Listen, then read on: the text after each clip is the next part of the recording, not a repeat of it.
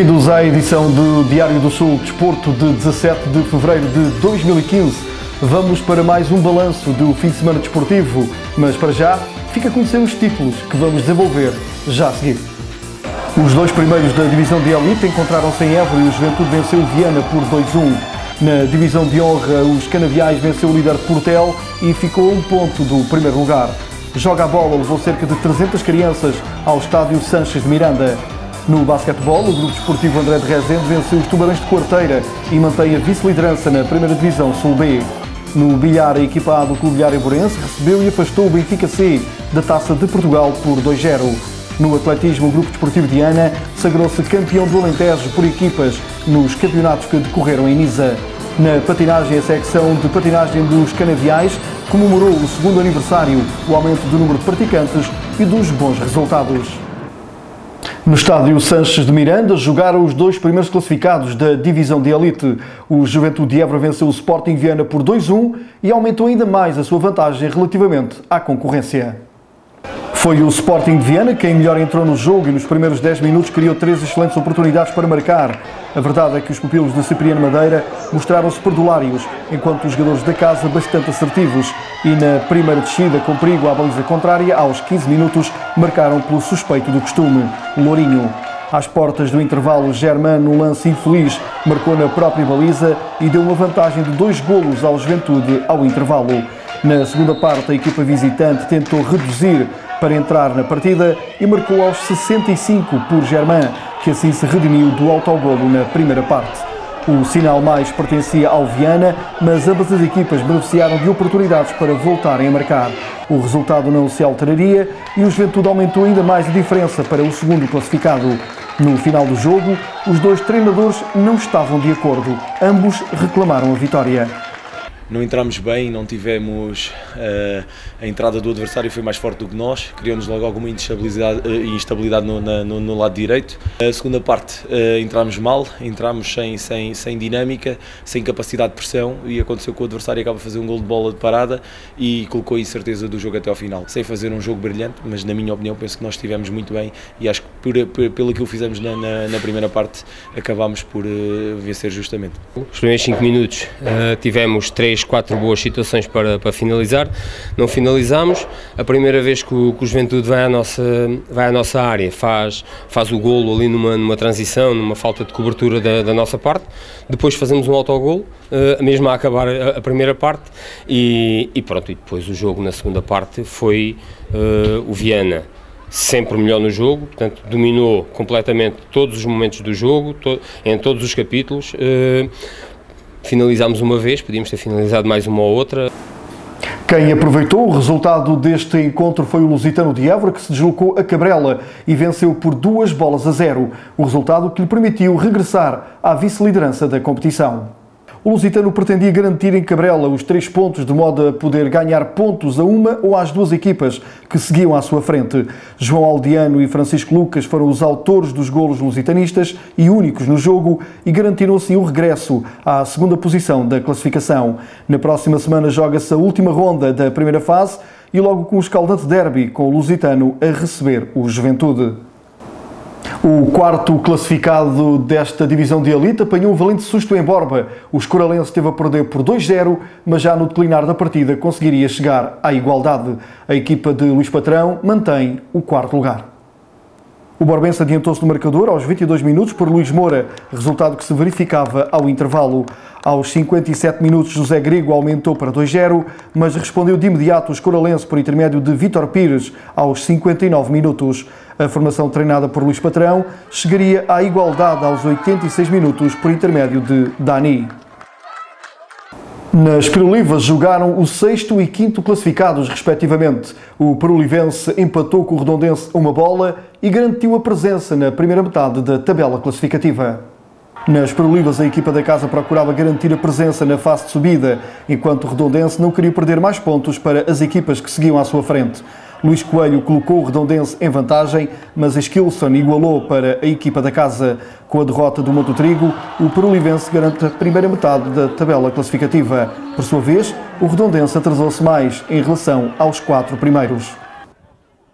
Vamos agora conferir os resultados desta jornada penúltima da Divisão de Elite e ver como ficou a classificação. 21 jornada, Cabrela 0, Lusitano de Évora 2, Borbense 2, Coralense 2, Lavre 1, Calipulense 1, Oriolenses 2, Mototrigo 1, Perolivense 1, Redondense 1 e Juventude de Évora 2, Sporting Viana 1. Na classificação, o Juventude de Évora é cada vez mais primeiro, tem 53 pontos, seguido do Lusitano com 46, depois o Sporting Viana agora com 44 na terceira posição. Quarto, Escoralense 38, quinto, Redondense 35, sexto, Peruivense 33. São estas seis equipas que vão disputar a fase de subida ao Campeonato Nacional de Séniores. Na divisão de honra, jogou-se a última jornada da primeira fase e logo o jogo entre os dois primeiros. O segundo classificado, a equipa dos Canaviais, recebeu e venceu o líder Portel por um zero e terminou esta primeira fase apenas a um ponto do seu adversário. Um gol de Sequeira aos 47 minutos para a equipa da casa decidiu esta partida entre os dois primeiros da tabela classificativa. O grupo esportivo de Portel desperdiçou ainda uma grande penalidade já na segunda parte do jogo e acabou derrotado pela margem mínima. Apesar da derrota, o Portel mantém-se na liderança com mais um ponto que a formação eiborense. Resultados desta 18ª jornada, Santana do Campo 0, Alcaçovense 0, Valenças 0, Estremoz 4, Oteiro 4, Reiolense 1, Fazendas do Cortiço 2, Curval 3 e Canaviais 1, Portel 0. Na classificação, Portel líder com 42 pontos, Canaviais segundo com 41, Oteiro terceiro com 28, também com 28 na quarta posição o Reilense, quinto Alcaçovense com 25 e sexto Estremoz com 22. São estas as equipas que vão disputar a fase de subida à divisão de elite da Associação de Futebol de Évora. Também se jogou na primeira divisão distrital. O Estrela de Vendas Novas, líder incontestado, descansou e aproveitou a gesteira para se aproximar na tabela classificativa. Montoito 2, Juventude de Évora B4, Aguiar 1, Canaviais B1 e Gesteira 6, Sporting de São Romão 2. Na classificação, o Estrela de Vendas Novas é líder com 12 pontos, o Gesteira também 12 pontos, mas mais um jogo. Juventude de Évora terceiro com 10 pontos, quarto Canaviais com 5, quinto Montoito com 3, sexto Aguiar com 1 e na sétima posição o Sporting de São Romão ainda sem qualquer ponto.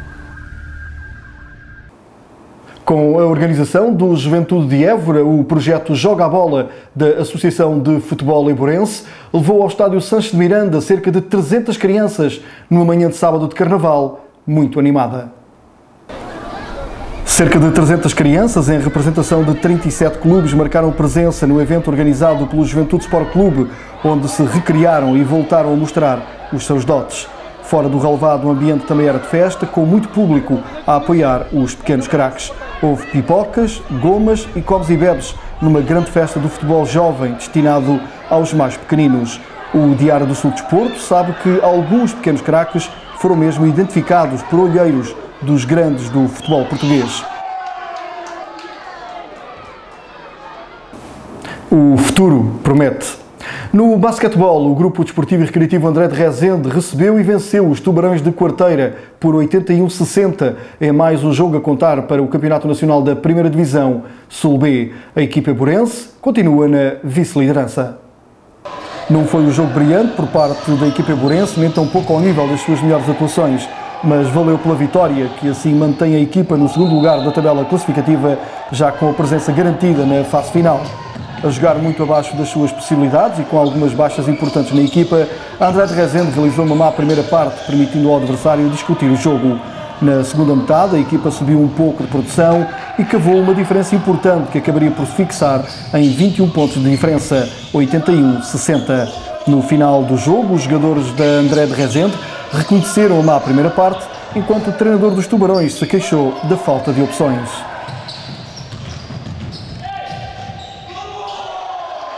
Como já vamos também numa. Nossa posição já é, já é quase garantida para a segunda fase, se calhar também houve algum desleixo por parte dos jogadores todos em pensar que, que seria um jogo fácil, mas pronto, depois conseguimos corrigir eh, a partir do segundo período e o terceiro período também conseguimos corrigir, apesar de termos entrado um pouco mal no terceiro período também, mas depois a partir daí conseguimos dar a volta ao resultado e gerir bem o resultado até ao final. Como temos muitos turnovers infantis, mas na segunda parte conseguimos recuperar um bocadinho e, e finalmente no final já damos um, um lado daquilo que nós realmente conseguimos jogar. Vir com seis jogadores, só viemos com um suplente, ainda por cima um júnior. Depois de uma viagem de 250 km, o frio apertou um pouco. É claro, eu já estava à espera e eu disse logo à rapaziada que segundo, a segunda parte iria fazer a diferença. Pela e fez. Ainda nesta competição, os salesianos de Évora deslocou-se ao campo do líder imortal de Albufeira e sofreu uma derrota pesada. A equipa dos salesianos sofreu uma derrota esperada por 101-43. De destacar a prestação do jovem borense Pedro Carvalho, com apenas 16 anos, que anotou 22 pontos, mais de metade dos pontos da sua equipa. No bilhar, sortes diferentes para as equipas do Clube Bilhar Emborense na Taça de Portugal por equipas. A equipa A eliminou o Benfica C, enquanto a equipa B foi eliminada pelos Dragões de Lisboa. A equipa A do Clube Bilhar Emborense não sentiu dificuldades para vencer o Benfica C por 2-0 e seguir em frente na Taça de Portugal por equipas. José Baião e Flamínio Sofio venceram os seus jogos por 2-0 e beneficiaram ainda da vitória em um dos jogos de Reinaldo Rocha para fechar a eliminatória a favor dos emborenses. Já a equipa B teve pior sorte e perdeu pela diferença de sets. No atletismo, o Grupo Desportivo de Ana sagrou-se campeão do Alentejo de corta-mato numa competição que decorreu em Nisa. O clube eburense validou os títulos em absolutas femininas e séniores masculinos, vencendo, portanto, as duas provas principais, triunfando ainda em júniores masculinos e conquistando dois títulos individuais através de Filipe Fialho em júniores masculinos e José Júnior em séniores masculinos, no total de sete lugares no pódio. Na patinagem, a secção de patinagem do Grupo Desportivo e Recreativo dos Canaviais comemorou o seu segundo aniversário, dois anos de sucessos, não só ao nível do aumento do número de praticantes, como também dos próprios resultados desportivos. Uma data importante para esta nova secção do Clube Eburense, uma vez que tem aumentado gradualmente o número de praticantes e tem somado êxitos importantes a nível regional e nacional. Há dois anos, esta secção iniciou sua atividade com apenas sete praticantes de competição. Hoje conta com 39, sendo 20 deles em competição. Iniciamos com sete atletas de competição e neste momento já temos 39 atletas, dos quais 20 estão já na competição.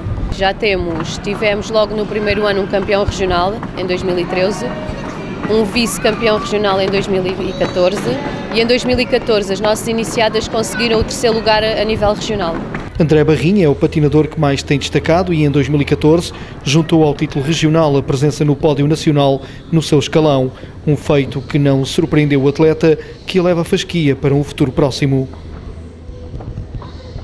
Uh, comecei com 7 anos, uh, tenho 15 neste momento e este desafio começou por causa da minha irmã. Ela patinava e agora pronto deixou e eu segui com bastantes bons resultados. Uh, este objetivo agora é para primeiro lugar nacional e vamos ver. E é a patinar que terminamos esta edição do Diário do Sul Desporto de 17 de Fevereiro. Já sabe, pode acompanhar-nos a partir de todas as terças-feiras nas diferentes plataformas do Grupo de Comunicação Diário do Sul, no canal 7000 do Mel, no YouTube ou no Facebook. Estamos de regresso na próxima semana. Até lá, pratique desporto.